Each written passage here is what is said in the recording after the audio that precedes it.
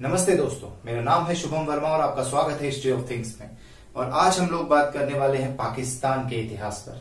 जी हाँ history of Pakistan तो पूरे पाकिस्तान के इतिहास पर नहीं, लगभग हम लोग बात करेंगे आज सिंध के इतिहास पर। क्योंकि कई सारे मेरे मित्र हैं जो लोग पाकिस्तान का इतिहास जानना चाहते हैं और कई सारे लोगों से मेरी ट्विटर पर या आप लोगों की भी ट्विटर पर बहस हुआ करती होगी कि व्हाट वाज पाकिस्तान बिफोर 1947 तो कई सारे लोग कुछ कुछ कहानियाँ बताते हैं, कोई कुछ बताता है। कई सारे लोग ऐसा कहते हैं कि वहाँ पर कभी किसी हिंदू राजा का शासन ही नहीं था।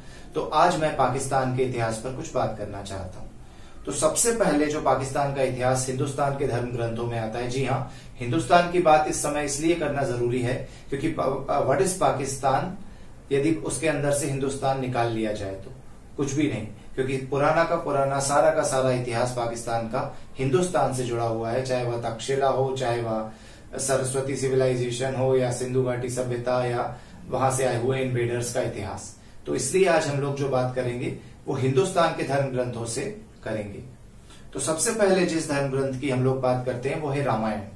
जी हाँ रामायण जो भारत का सबसे प्राचीन ऐतिहासिक ग्रंथ जिसको माना जाता है तो रामायण के अंदर जब राम भगवान रावण का अंत कर देते हैं और वापस जाते हैं अयोध्या में। उसके बाद जब वो राष्ट्रीय यज्ञ होता है और उनके, जैसा कि हम जानते हैं, चार भाई हैं तो जब राज शासन डिस्ट्रीब्यूट हो रहा होता है, उस समय के इतिहास के अंदर वाल्मीकि रामायण में यह वर्णित है कि राजा राम के जो भाई हैं, भरत तीसरे नंबर के, दूसरे नंबर के जो भाई हैं तो उन भरत के जो बेटे होते हैं, उन बेटों का नाम जो है, वो है तक्ष और पुष्कल।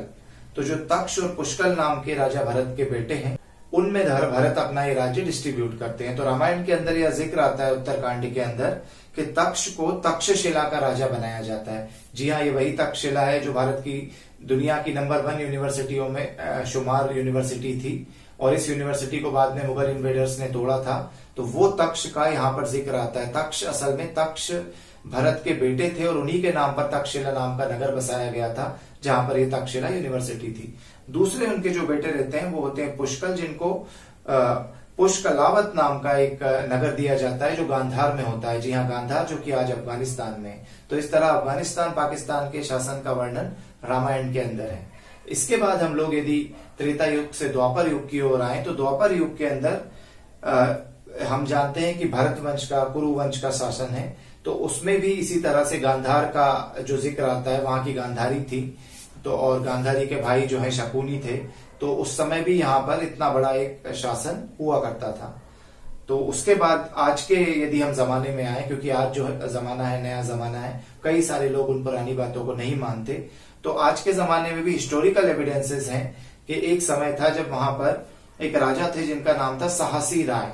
साहसी राय, जी हाँ ये 600 वर्षों तक इनके साम्राज्य ने, इनके पीढ़ियों ने, इनकी पहले की पीढ़ियों ने वहाँ पर राज किया था। तो साहसी राय उसके अंतिम वंशज थे। साहसी राय जब राज कर रहे थे, उस समय काफ़ी सारे कश्मीरी पंडितों का वहाँ पर पलायन हो गया था और उस इलाके में वो रह रहे थे। तो कश्मीरी पंडितों में से ही एक थे जिनका नाम था चच। जो काफ़ी साहसी राय राजा के करीब आ गए थे और चूँकि साहसी राय राजा की कोई संतान नहीं थी तो उन्होंने राजा चच को अपना वंशज बना दिया। तो वहाँ से कश्मीरी पंडितों का साम्राज्य वहाँ पर शुरू हुआ और कश्मीरी पंडितों का कहा जाता है अंतिम राजा वहाँ पर जो थे, वो दाहिर थे। तो चच के बेटे जो थे, वो दाहिर थे। तो चच के पहले, सबसे पहले तो पहले बेटे को राजा बनाया गया। तो उन्होंने बौद्ध धर्म अपना लिया था और बौद्ध धर्म इम्पोज कर दिया था, जो सिंध और पूरा पाकिस्तान का एरिया है उसमें। तो उससे क्या है, जनता के अंदर बगावत शुरू हो गई थी क्योंकि जनता सनातन को मानती थी और जनता किसी भी एक चीज़ पर रेस्ट्रिक्ट नहीं रहना चाहती थी। तो उसके कारण फिर बगावत के कारण उनको राज छोड़ना पड़ा और उनके छोटे भाई ने राज संभाला। छोटे भाई जो थे, जिनके बारे में आज हम अपना ये वीडियो बना रहे हैं, उनका नाम था राजा दाहिर सेन। राजा दाहिर सेन महान शूरवीर राजा थे। उन्होंने आकर पूरा का पूरा सिस्टम बदला और उन्होंने सभी धर्म, चाहे बौद्ध धर्म हो, हिंदू धर्म, सनातन के सभी लोगों को बराबर का स्थान दिया। सभी में से उन्होंने सेनापति बनाए और इस तरह से अपने राज्य की फूट समाप्त की।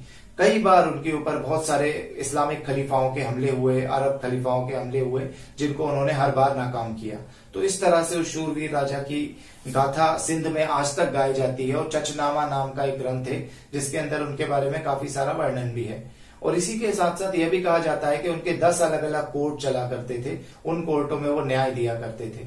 उनका राज्य जो है, उसकी यदि हम विस्तार की बात करें तो काफ़ी दूर दूर तक उनका राज्य फैला हुआ था। जैसे कि आज की बात करें तो आज के बात के हिसाब से गुजरात के अंदर उनका राज्य था, मालवा के अंदर उनका राज्य था, राजपुताना के अंदर उनका राज्य था। और पीछे की साइड यदि हम जाते हैं, ऊपर की साइड तो वहाँ पर ईरान, अफ़गानिस्तान तक और पंजाब तक उनका राज्य था। तो इतना बड़ा साम्राज्य राजा ताहिर का हो गया था। और राजा ताहिर ने कई सारे युद्ध बाहरी और विदेशी लुटेरों से जीते थे। इसके बाद की कहानी मैं आपको सुनाना चाहता हूँ, वो इंटरेस्टिंग है। इसके बाद धीरे धीरे धीरे धीरे उनका जब साम्राज्य बढ़ता जा रहा था और उनका राज्य अच्छे से चल रहा था तो जो खलीफा थे अफ़गानिस्तान में बैठे हुए या उसके आगे सऊदी अरब में बैठे हुए, उनको इनसे ईर्षा होती थी।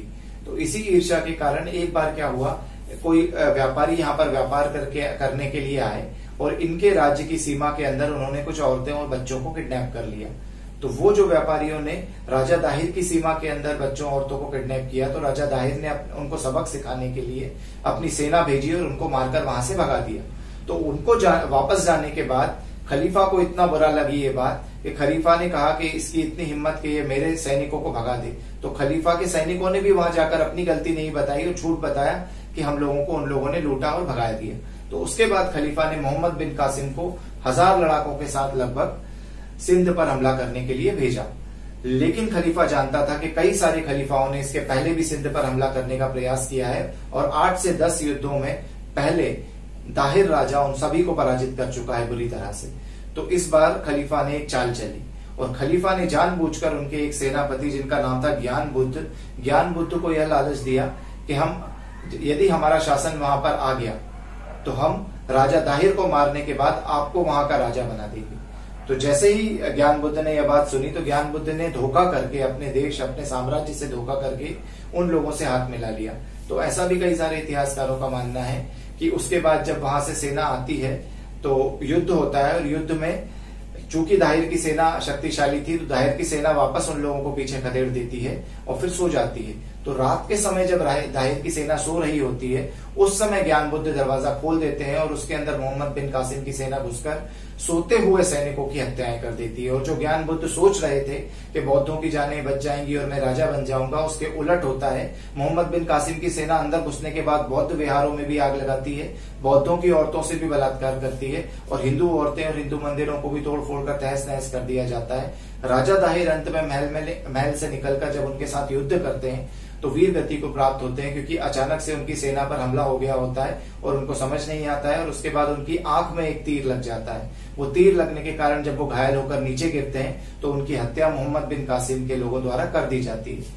और ये घटना क्यों इस हिस्ट्री के अंदर इंपॉर्टेंट है, यहाँ मैं बताना चाहता हूँ कि जो इस्लामिक शासन है उसके सबसे पहले इन्वेडर सबसे पहले लुटेरा जिसे माना जाता है, सबसे पहला हमलावर जिसे माना जाता है, वो मोहम्मद बिन कासिम को माना जाता है। तो राजा दाहिर 679 में वहाँ के राजा बने थे। सिंध के, वो पाकिस्तान उस समय तक सनातन संस्कृति का ही हिस्सा था।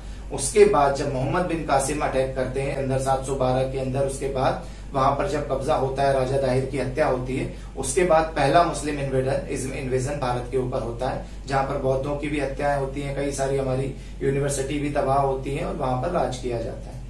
कहानी लेकिन अभी बाकी है। जब राजा दाहिर की मौत हो जाती है, उसके बाद आप लोगों ने कभी इतिहास में नहीं पढ़ा होगा कि मोहम्मद बिन कासिम का क्या हुआ। तो इसके बारे में भी कई सारे इतिहासकारों का मत है कि राजा दाहिर की दो बेटियाँ थी, जिनमें से एक का नाम था सूर्या देवी। तो सूर्या देवी नाम की जो राजा दाहिर की बेटी थी, उसको, क्योंकि इस्लामिक इन्वेडर यही करते थे कि जिस राजा को हराते थे, उसकी औरतों और लड़कियों को उठा लिया करते थे। तो सूर्या देवी को किडनैप कर कर मोहम्मद बिन कासिम ले जाता है खलीफा के पास और वो कोशिश करता है कि मैं खलीफा को इन दो खूबसूरत लड़कियों को गिफ्ट कर दूँगा और खलीफा इससे खुश होकर मुझे इनाम देगा। तो सूर्या देवी और उनकी छोटी बहन दोनों को वो खलीफा को पेश कर देता है, ये आपके लिए है। तो खलीफा जब उन्हें अपने हरम में ले जाता है तो हरम में जाने के बाद जब उनसे बात करता है तो सूर्या देवी उनसे बोलती हैं कि आप हमें अब नहीं छू सकते, क्योंकि हम अपवित्र हो गए। तो खलीफा पूछता है कि अपवित्र कैसे हो गए हो? तो वो बोलते हैं कि हमको रास्ते में लाते समय हमारे साथ जो मोहम्मद बिन कासिम है, उसने बलात्कार किया, उसने गलत कार्य किए। तो इससे खलीफा को बहुत गुस्सा आता है और खलीफा उनकी बात मान लेता है और खलीफा ऑर्डर देता है कि मोहम्मद बिन कासिम को तुरंत मार दिया जाए। तो बहुत सारे सैनिक मोहम्मद बिन कासिम को जाकर पकड़ते हैं। कई लोगों का यह मत है कि उन्हें उन्हें उसके सामने पेश किया जाता है, उसके बाद उसे मृत्यु दंड मिलता है। और कई लोगों का यह मत है कि रास्ते में उसे जब झोले में भरकर ला रहे होते हैं, उसी में दम घुटने से उसकी मौत हो जाती है। तो इस तरह से राजा दाहिर की वीर जो बेटियाँ होती हैं, उनमें से सूर्या देवी इस तरह से कहानी बनाकर अपने राज्य को मिटाने वाले मोहम्मद बिन कासिम से बदला लेती है और उसकी मौत का कारण बनती है। उसके बाद इतिहासकारों का ऐसा मानना है कि दोनों बहनों ने अपने अपने कपड़ों में छुपे हुए खंजर निकाले और एक दूसरे को खंजर से मारकर और अपने शरीर का अंत कर लिया ताकि मुगल हमलावर और जो ये मुस्लिम हमलावर हैं, इनके हाथ में वो ना लगे। लेकिन इसके अंदर एक बहुत बड़ा किस्सा जो हो जाता है वो किस्सा ये हो गया कि जो इस्लामिक इन्वेडर थे, जो उसके पहले तक कभी भी भारत में नहीं घुस पाए थे और उस समय भी नहीं घुस पाते, एक अकेले ज्ञान बुद्ध की धोखाधड़ी और गद्दारी के कारण वो लोग अंदर आ जाते हैं और अंदर आने के बाद उस सारे इलाका जो भारत की बॉर्डर हुआ करता था, जैसा कि हम जानते हैं कि भारत तीन तरफ़ से समुद्र से घिरा हुआ था, एक तरफ़ से हिमालय से घिरा हुआ था तो वही एक रास्ता था जहाँ से लुटेरे और विदेशी आक्रांता घुस सकते थे। वो रास्ते पर हमारे सबसे ताकतवर लोग अफगान में और पाकिस्तान में बैठे रहते थे। उस रास्ते को ज्ञान बुद्ध की गद्दारी के कारण तोड़ डाला गया और उसके कारण मोहम्मद बिन कासिम अंदर घुसा और उसके कारण फिर भारत के अंदर बाद में गौरी गजनी उसी रास्ते से और मुगल जो बाबर वगैरह आए उसी रास्ते से आए और इतने सालों तक भारत को गुलाम रहना पड़ा। तो पाकिस्तान के इतिहास की यदि हम बात करें तो पाकिस्तान का इतिहास सारा का सारा हिंदू रहा है और सिंधु घाटी की जो सभ्यता है, वो सिंध से शुरू होती है। आज भी हम जो भारत का राष्ट्रगान गाते हैं जन गण मन, उसके अंदर पंजाब, सिंध, गुजरात, मराठा आता है।